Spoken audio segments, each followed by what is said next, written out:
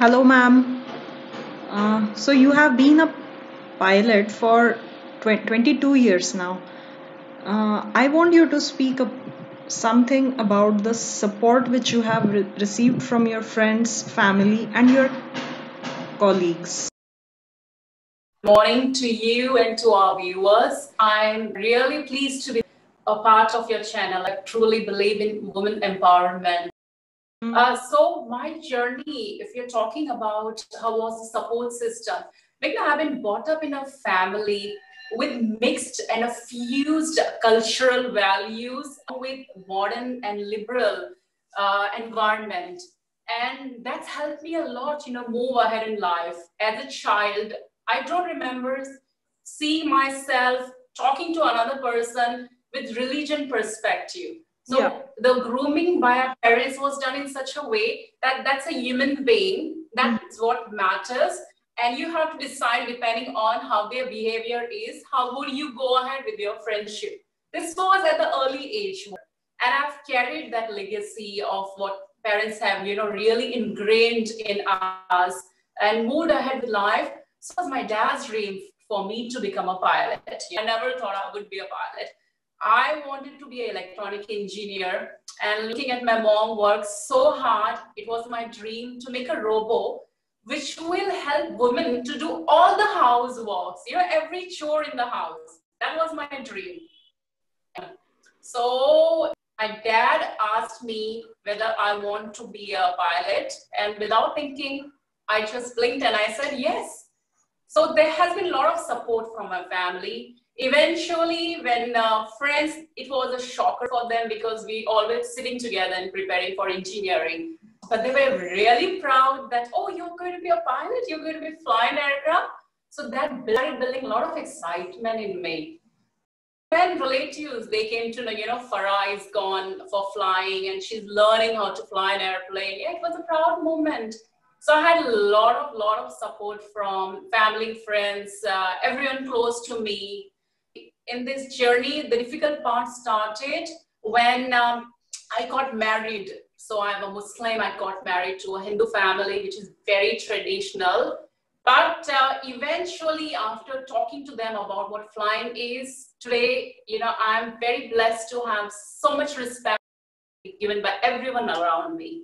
So it's been a beautiful journey. Wow. What about your friends? My friends love it. They take pride in saying that we have Farah, who's a pilot, and she flies uh, uh, Boeing. We travel as passengers, and it's a pride moment for them. I have everyone of different uh, profession in my circle, and that keeps it very interesting, Meghna. So it's been very good supportive system, which is a must when you do anything in your life. You need Yeah. that support. That's true. Yeah. Now I want you to speak about the various challenges which you have faced in this journey and also about how you have uh, handled them, ma'am.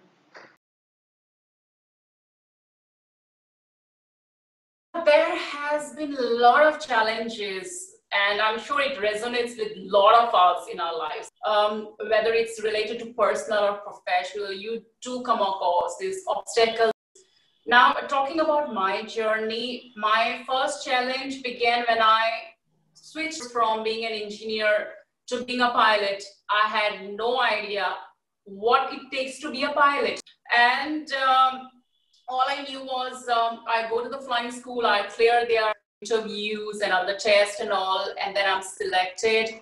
And that time it used to be the telegram system. That was in uh, 1994. So I got a telegram saying that you have been selected. And immediately after my board exam, I headed myself towards the flying school, not knowing what Yeah. is in store for me there. On reaching the school, I was really excited. All I thought was I have to sit in the airplane, know everything in and out, and that's it. I can fly the airplane. Oh my God. It was a big misconception on my mind. I don't know what I was thinking.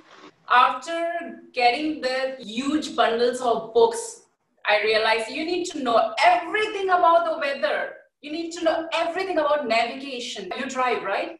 So, like when you drive a car, you imagine you're driving in the desert and you have no clue where you're going. So flying an airplane in the air, if you don't know anything about air navigation, yeah, you're lost.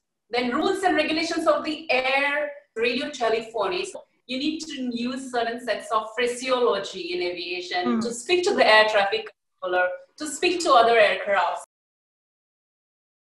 There are hundreds of switches, knowing their positions and what work they do. So it was a shock for me. I, I went in depression for a very long time. I didn't want to tell my parents. I didn't want to disappoint my dad. My parents have been like role models for me. So first time away from home, living in a hostel away from Mumbai, it was a big challenge. I used to sit in the room and cry. And when I picked up the books, I used to look at the books and literally those numbers and the words, they used to float around me. And it was very, very difficult for me. Hmm. Then one day I thought to myself, I said, it's two options. Either I give up and I tell my dad, I'm sorry, I can't do it. I can't go ahead as an aspiring pilot. And I'm sorry to shatter your dreams. And the second was, you know, why not give it a try? Give my best because that's what I've always done. Whatever you give me, any task you give me, I want to do it to perfection or else I don't want to do it. So I decided, you know, I don't want to go in that phase where I don't want to do it. Let me give it a try. I will give it a hundred percent. So that eventually, if it doesn't work out for me, I'll only tell my parents that I have put in my hundred percent, but I don't think so. It's suiting me. Mm-hmm. And getting to know the subject, getting to know aviation was just the beginning of my journey to becoming a pilot. And then uh, throughout, kept on coming through different obstacles, different hurdles, and a uh, lot of challenges. They kept on piling on. One thing I learned is you, when I began the journey, I said, okay, no matter now what comes in my way, I'm going to go ahead. I'm, want to complete it and then decide on as to whether I want to go as a professional pilot. As we all know, flying is still a male dominated industry. So I want to know, the audience want to know whether you have faced any sort of gender bias in this journey and if yes, how you have uh, handled it. Oh yes, I agree to that. Yes, it does remain. You know, uh, gender bias, Meghna, is the main reason why women do not progress uh, to higher positions in their profession, in their careers. You talk about any department, not just related to aviation. And uh, same in aviation, gender discrimination has created huge amount of struggles for female pilots. Though the number of female pilots have increased, aviation industry especially flying, still remains a male dominated field. And hmm. that keeps creating more struggles, more difficulties for a woman to go ahead and achieve that progress in her graph. And I have faced those pinches a uh, lot of times, especially when it came to progression. There has been tough challenges. There has been tough competitions. And um, a lot of times, yes, there has been upsetting episodes where I was not selected because of this discrimination. Mm-hmm. Rather than thinking, yeah, though we are talking about gender equality, it's uh, still the discrimination factor, which is still playing a huge role in every department, especially in aviation, because of the massive disproportion I told you. Like imagine just 6% of the population is a female pilot. And in mm. India, we have the maximum now. Now, apparently, it's gone to 12%. So okay. we're really proud of it. But even 12% is a very low figure. Very low. a woman in aviation or in any other field, we are so determined, so focused that we carry ourselves very well. Mm-hmm. I think to overall this factor, you need to carry yourself not to sway yourself away from being a female, no matter even if you're in a male dominated field.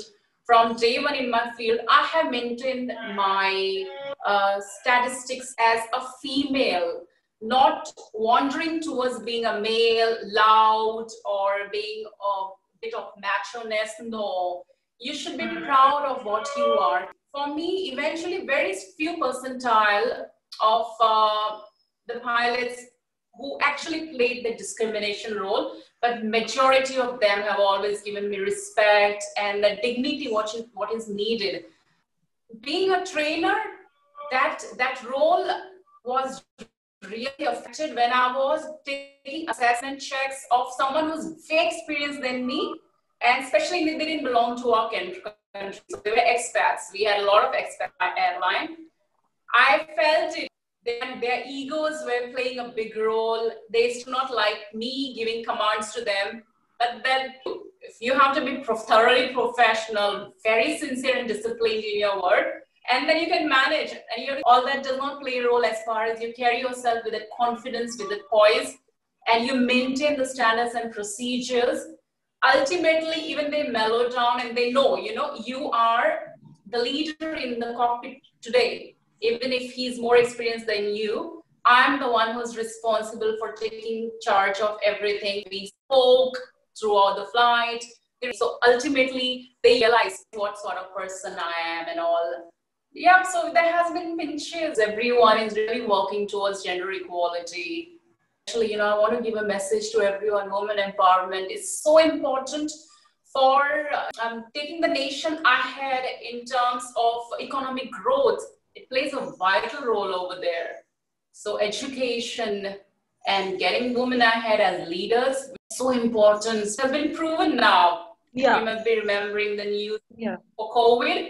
The countries who had women leaders, they came out of it very soon very than soon. other countries. Yeah. Other countries. So they yeah, played a very, very big role, yeah.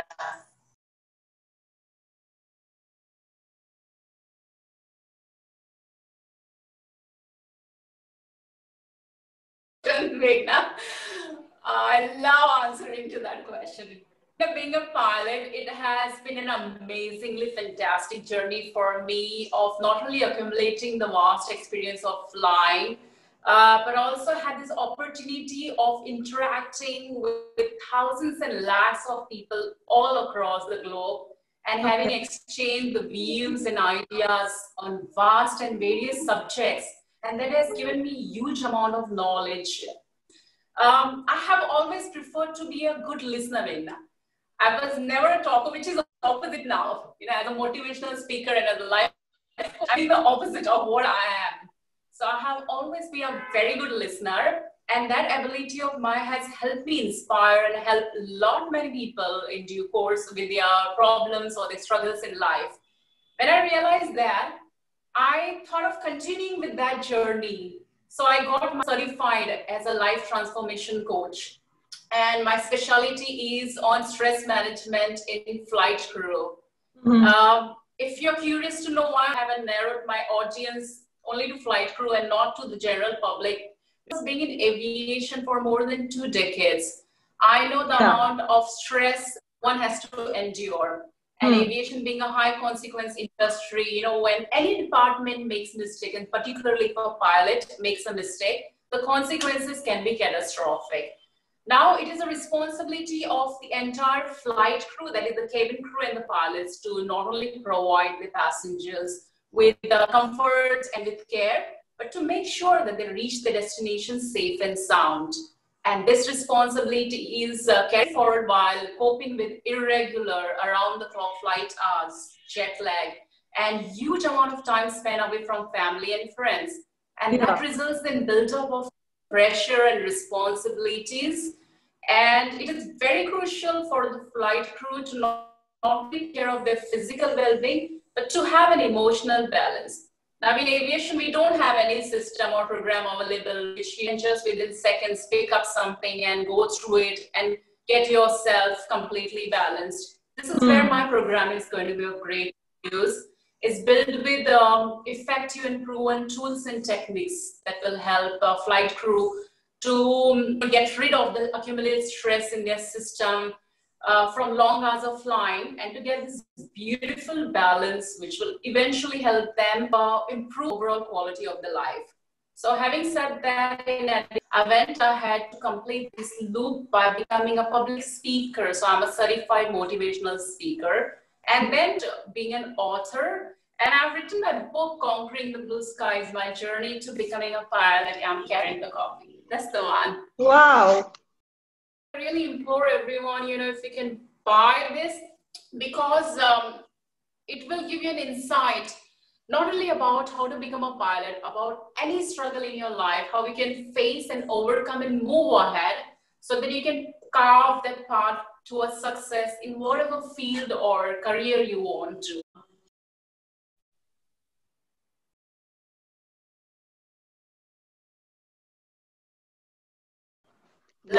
Touchdown on the wheels on the aircraft. Wow. Take off. When you start roaring ahead on the runway and you lift off in that beautiful sky. Cabin crew. Very efficient and beautiful to be with. Cockpit. Full of instruments and switches, and you get to see the best sunrise and sunset every time you fly. Wow. Air pockets. Ah, that roller coaster ride in the aircraft. Yeah, you come across these small pockets of air with vertical movements. It pushes you down, you feel it in your stomach. That's what's an air pocket, but it's nothing to worry about. Runway. Oh, it's a smooth surface where I would like to drive rather than fly. Yeah. Flight food. Not my preference. Foreign countries. Ah, one traveling abroad, flying overseas. Yeah.